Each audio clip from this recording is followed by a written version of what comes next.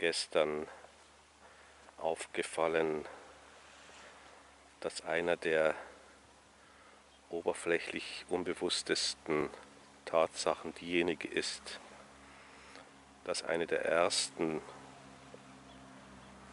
absoluten Wohlbefindtheiten, Befindlichkeiten darin besteht, dass man einfach in einer warmen, in einer wohltemperierten Haut, in einem wohltemperierten Körper steckt. Ein Erlebnis, das bewusst wahrzunehmen genauso intensiv ist, wie wenn man bei großer Hitze einen großen Schluck kalten Wassers zu sich nimmt.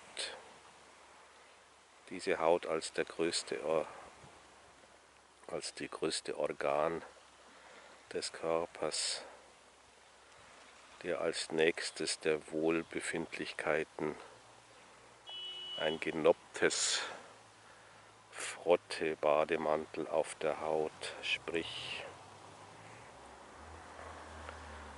taktile, unterbrochene, etwas linnenraue Vibrationsreibe, Kontakt, Berührungsdruckreize, wie eben dasjenige, was an anderer Stelle eines Romans die Gurte Haut genannt wird. Mechanismen, die so automatisch funktionieren als Temperaturregulation, dass auch sie an die Oberfläche des so selbstverständlich Unbewussten gerückt werden.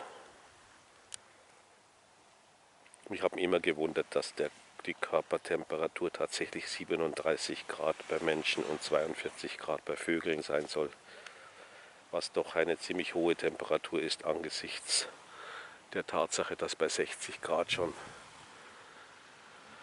Proteine gerinnen, aber gegen die Virusabwehr ist das offenbar gut.